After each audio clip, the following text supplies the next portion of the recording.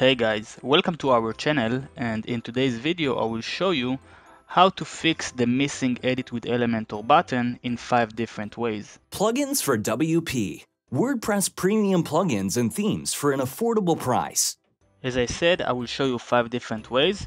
I recommend you to try them uh, each individually before moving on to the next fix. So here we have a page that we would like to edit with Elementor, however we don't see the edit with Elementor button.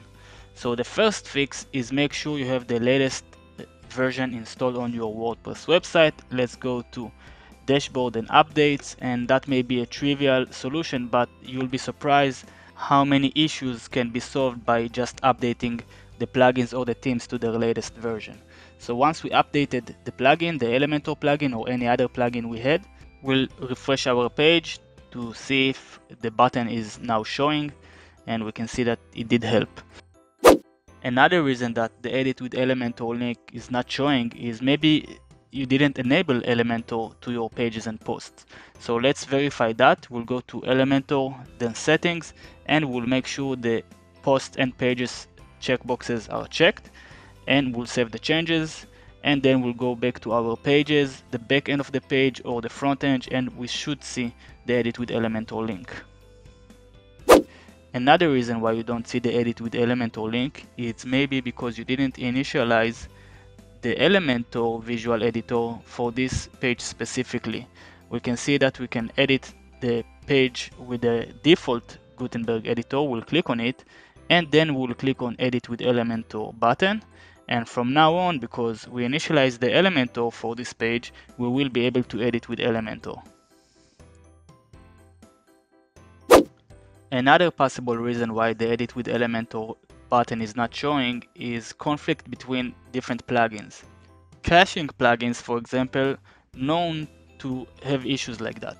So let's go to our plugins page and now we will deactivate all the caching plugins that we have. So right now we have the Autoptimize plugin, I will deactivate it and then I will refresh the page and I will see that I can edit the page with Elementor. However, if you still want to keep the caching plugins active, uh, just make sure to uncheck the aggregate JavaScript files box, just like so, and once you save the changes you will be able to keep this plugin active and still edit the page with Elementor just like so. And the last fix it's a little bit more advanced. I only recommend you to use it if you know anything about functions.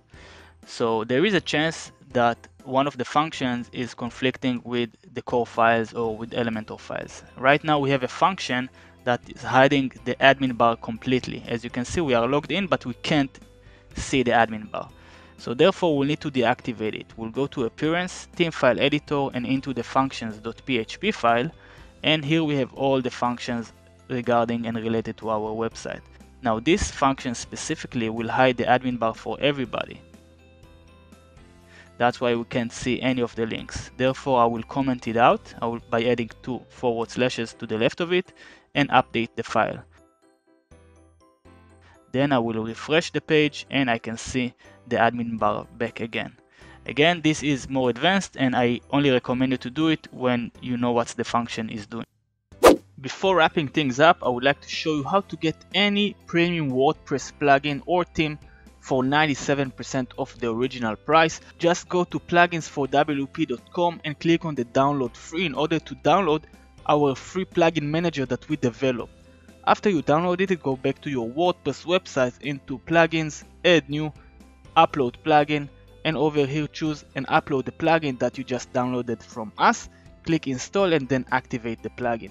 Then go to the new plugins for WP tab that was added to your WordPress sidebar. Browse between the thousands plugins and themes that we are offering. If you are looking for a specific one, type it over here and the results will appear in front of you browse the search results and find the item that you were looking for.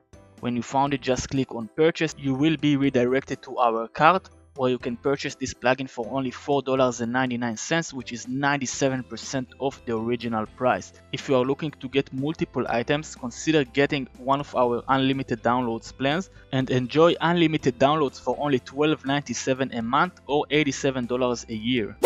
Alright guys, so thank you very much for watching this video. Please let me know if you have any questions regarding this process by leaving a comment down below. Please also like the video, share it with your friends and subscribe to our channel because there are more great videos on the way. I will see you all in the next video.